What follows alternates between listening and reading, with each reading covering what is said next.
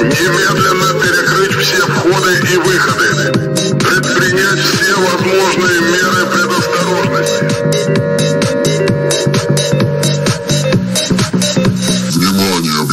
Francis, so let's go.